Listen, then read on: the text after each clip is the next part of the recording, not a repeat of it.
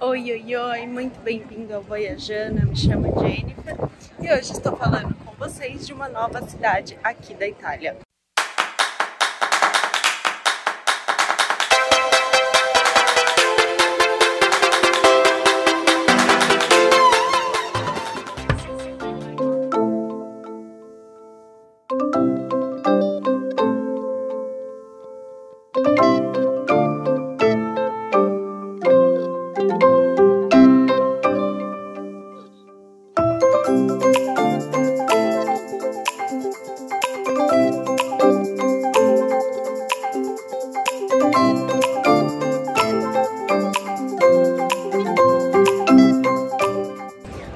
Começamos a mostrar um pouquinho aí Bolonha. Bolonha que é uma capital da gastronomia italiana que é famosíssima não só pela gastronomia, mas pela sua universidade, pelo seu clima universitário. E hoje a gente veio fazer um passeio aqui no centro histórico. Não é, vamos poder mostrar muitas coisas, mas já deu pra ver que vale muito conhecer a cidade, vale muito andar pelo centrinho de Bolonha e também fazer, de repente, visitar os pontos turísticos, subir nas torres e, claro, desfrutar da gastronomia local. A gente começa a te mostrar Bolonha pelos pórticos. Afinal, são 62 quilômetros deles, sendo que 42 quilômetros estão só no centrinho. Foram construídos na Idade Média e acolhem você faça chuva ou faça sol. Hoje, eles são patrimônio da humanidade da Unesco e um dos mais famosos te leva para cima, para o Santuário de São Luca, que visitamos no fim da tarde no primeiro dia que estávamos na cidade. E você pode chegar até ele de carro, que foi o que fizemos, ou a pé, e aí caminhar pelo maior pórtico do mundo. Se você for do time que gosta de caminhar, se prepare. Existem relatos de cerca de duas horas para o trajeto completo. Infelizmente, o santuário estava fechado no dia, mas já vale a visita para poder ver um pouco da paisagem do entorno e da estrutura exterior do local. Depois de você percorrer esse caminho que a gente mostrou de carro, você chega na entrada do monastério, que hoje está fechada ali o acesso, mas a gente consegue já ver a cidade daqui de cima. Mas antes de continuar o nosso vlog por Bolonha, eu preciso que você saiba algumas coisas rapidinhas sobre a cidade. Bolonha é a capital da região da Emília-Romanha, na Itália, e no período medieval já era considerada um dos centros universitários mais importantes do mundo.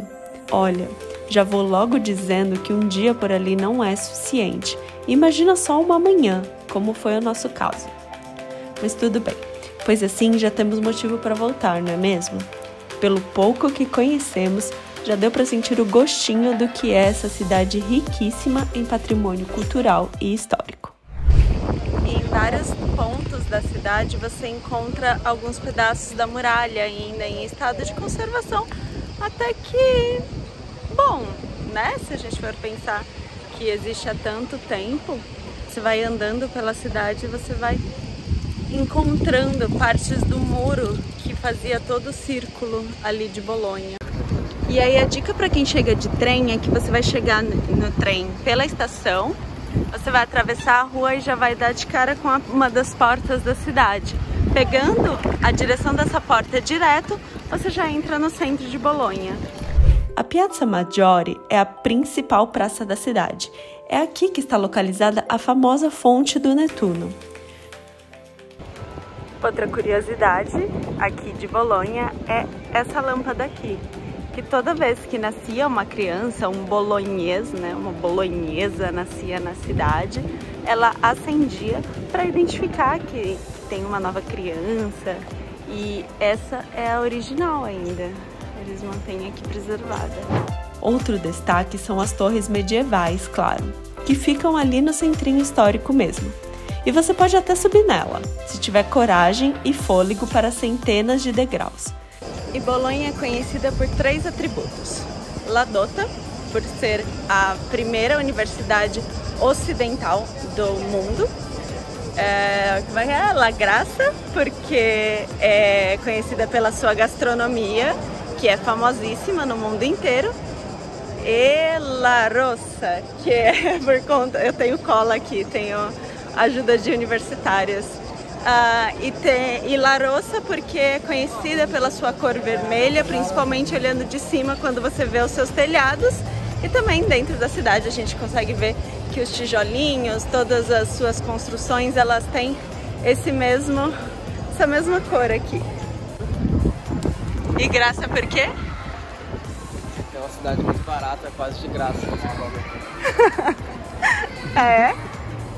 Graça é gorda em italiano. Entendi. Você come bem e engorda, então é la graça.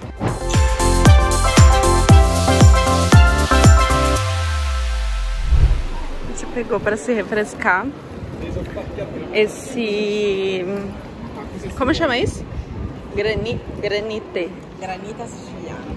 Granita siciliana. Que é um gelinho. É tipo um gelo com suco de limão, no caso que eu escolhi. E açúcar. E pelo nome deve ser bem é, tradicional na Sicília, que é uma das ilhas aqui da Itália. E eu recomendo. E ó, dica boa para quem estiver passando por Bolonha sexta e sábado de manhã ou até o finzinho da tarde, lá para umas 5, você consegue vir aqui na Praça 8 de Agosto, que é essa praça aqui onde a gente está agora, que fica repleta de barracas, repleta de opções de compras baratinhas, de roupa, objetos, itens de decoração e de repente você pode achar alguma coisa legal para levar para casa. E você lembra quando eu falei que conhecemos Bolonha em poucas horas? Pois então, nosso tempinho na cidade já acabou mas é por um bom motivo, eu juro. Naquele mesmo dia, a gente ainda ia parar em outro país, mas isso é tema para o próximo vídeo. Minha dica então é se inscrever no canal se você não for inscrito, para ficar sabendo em primeira mão para onde fomos. Obrigada pela companhia e até mais!